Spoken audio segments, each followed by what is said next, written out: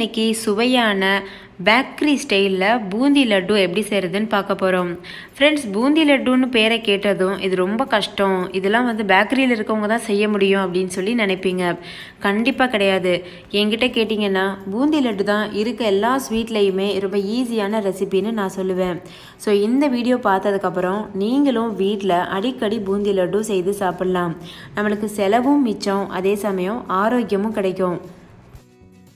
ஒரே ஒரு கப் கடலை மாவுலையே நீங்கள் பதினஞ்சு பூந்தி லட்டு செய்யலாம். அப்போ நீங்களே பாருங்கள் நம்மளுக்கு எவ்வளோ செலவு மிச்சம். அதே சமயம் டேஸ்ட் செம்மையாக இருக்கும். ஃப்ரெண்ட்ஸ் வீடியோ ஸ்கிப் பண்ணாமல் பாருங்கள் அப்போ உங்களுக்கு நான் சொல்லக்கூடிய எல்லா ஸ்டெப்ஸும் கிளியராக புரியும்.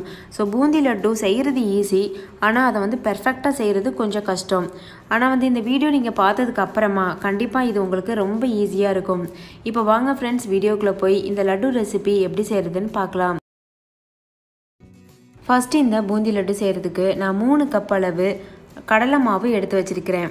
உங்களுக்கு ஃபஸ்ட்டு வந்து நீங்கள் செய்ய போகிறீங்க பிகினர் அப்படின்னா ஒரு கப் கடலை மாவில் செய்து பாருங்கள் ஸோ எந்த ஒரு ஸ்வீட் ரெசிபி செய்கிறதா இருந்தாலும் ஃபஸ்ட்டு எடுத்ததும் நிறைய செய்திடாமல் ஃபஸ்ட்டு கொஞ்சமாக செய்து பாருங்கள் அப்போ உங்களுக்கு பெர்ஃபெக்டாக வரும். அதுக்கப்புறம் நீங்கள் ப்ராக்டிஸ் பண்ணிவிட்டு நிறைய பண்ணுங்கள் இப்போ நான் இன்றைக்கி மூணு கப்பில் செய்து காமிக்கிறேன்.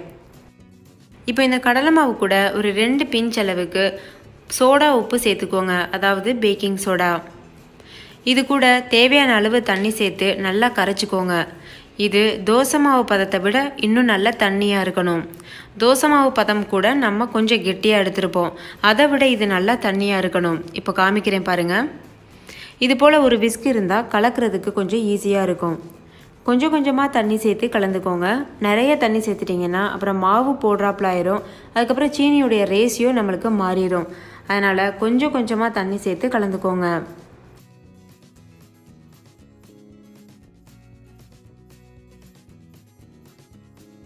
அவ்வளோதான் ஃப்ரெண்ட்ஸ் இது நல்லா கலந்தாச்சு. இதில் கொஞ்சம் கூட கட்டிகள் இல்லாமல் இந்த அளவுக்கு தண்ணியாக கரைச்சிக்கோங்க. கொஞ்சம் கூட கட்டி இருக்கக்கூடாது கட்டி இருந்ததுன்னா நம்மளுக்கு பூந்தி லட்டு பெர்ஃபெக்டாக வராது. இப்போ இது ஒரு ஓரமாக இருக்கட்டும். நம்ம இதுக்கு பாகு காய்ச்சிடலாம். சக்கரை பாகு காய்ச்சறதுக்கு ஒரு கடாய் எடுத்துக்கோங்க. அதில் மூணு கப் அளவு சக்கரை சேர்த்துக்கோங்க. நம்ம மூணு கப் அளவுக்கு கடலை மாவு சேர்த்துருக்கோம். அதனால் மூணு கப் அளவு சக்கரை கரெக்டான ரேஷியோ ஒரு கப் கடலை மாவில் செய்கிறீங்கன்னா நீங்கள் ஒரு கப் சக்கரை சேர்த்துக்கோங்க. இந்த சக்கரை மூழ்கிற அளவுக்கு மட்டும் தண்ணி சேர்த்துக்கோங்க. நான் வந்து ஒரு அரை கப் அளவு தண்ணி சேர்த்துருக்குறேன். இந்த சக்கரை நல்லா கொதித்து கரைஞ்சி நல்லா கொதித்து வரணும். ஃபஸ்ட்டு இந்த சர்க்கரையை நல்லா இது போல் கரைச்சி விடுங்க. இது நல்லா கரையட்டும். ஸ்டவ்வை ஹை ஃப்ளேமில் வச்சு கைவிடாமல் கரைச்சிட்டே இருங்க. அப்போ இது சீக்கிரம் கரைஞ்சிரும். இப்போ பாருங்கள் இது நல்லா கரைஞ்சி நல்லா கொதிச்சு வந்துட்டுருக்கு. இது இன்னும் நல்லா ஒயிட் கலரில் முறமுறையாக வரணும்.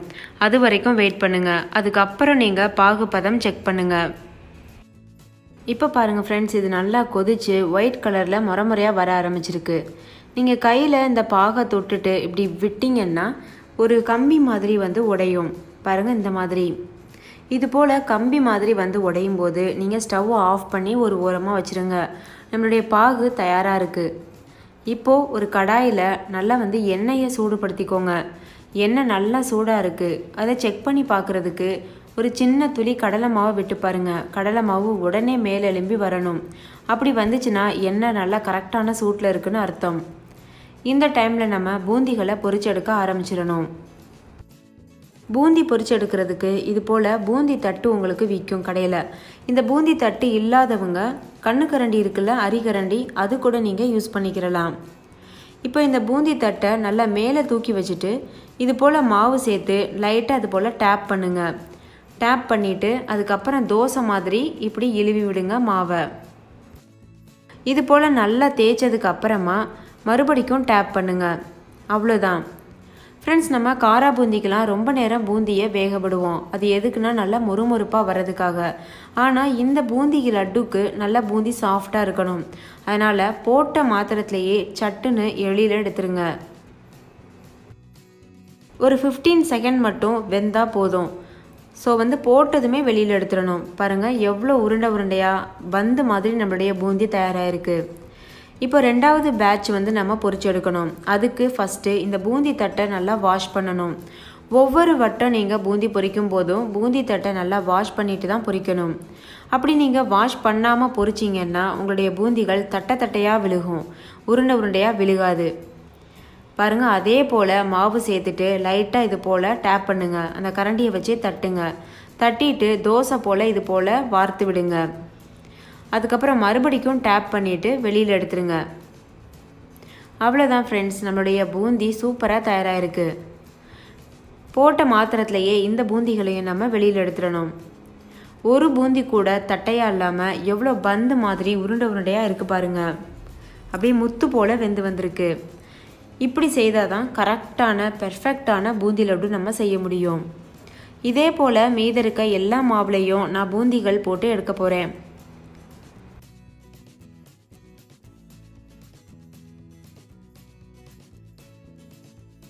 பூந்திகள் எல்லாம் தயாரானதுக்கு அப்புறமா நம்ம ஏற்கனவே செய்து வச்சுருக்க சக்கரை பாகில் அந்த பூந்திகளை சேர்த்துடணும்.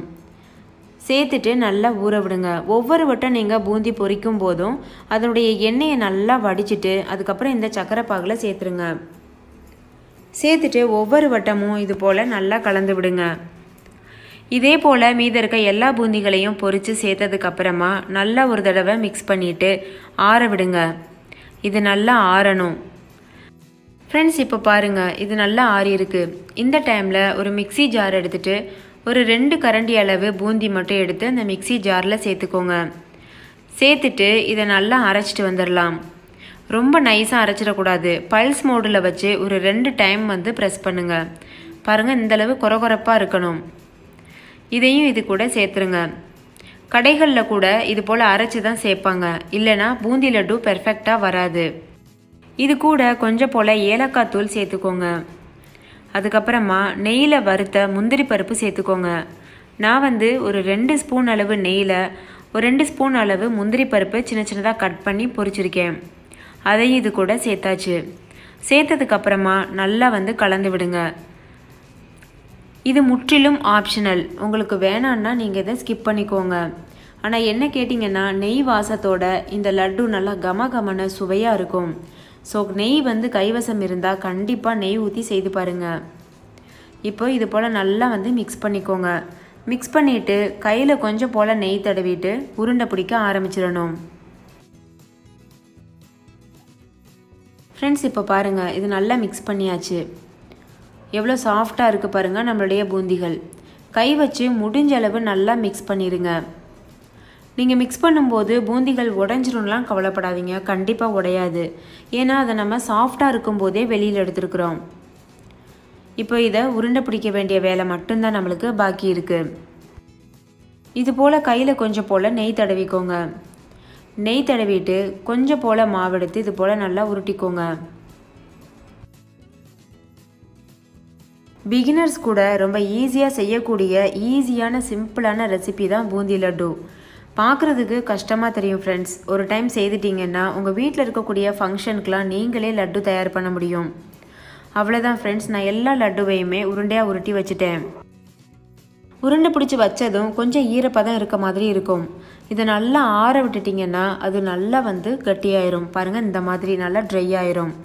ஸோ கவலையே படாதீங்க. பாகு பதம் மட்டும்தான் ரொம்ப இம்பார்ட்டன்ட் ஸோ கண்டிப்பாக அதை வந்து கரெக்டாக பார்த்து பண்ணுங்கள் நம்ம சேர்த்த மூணு கப் அளவு மாவுக்கு நாற்பது லட்டுகள் வரைக்கும் வந்துருச்சு. சின்ன சின்ன உருண்டைகளாக உருட்டினீங்கன்னா இன்னுமே அதிகமாக கூட வரும். ஸோ கண்டிப்பாக ஃப்ரெண்ட்ஸ் இந்த லீவ் டைமில் நீங்கள் கண்டிப்பாக இந்த லட்டுவை செய்து பாருங்கள் உங்கள் வீட்டில் இருக்கக்கூடிய குழந்தைங்க ரொம்ப என்ஜாய் பண்ணி சாப்பிடுவாங்க. ஸோ கண்டிப்பாக ட்ரை பண்ணுங்கள்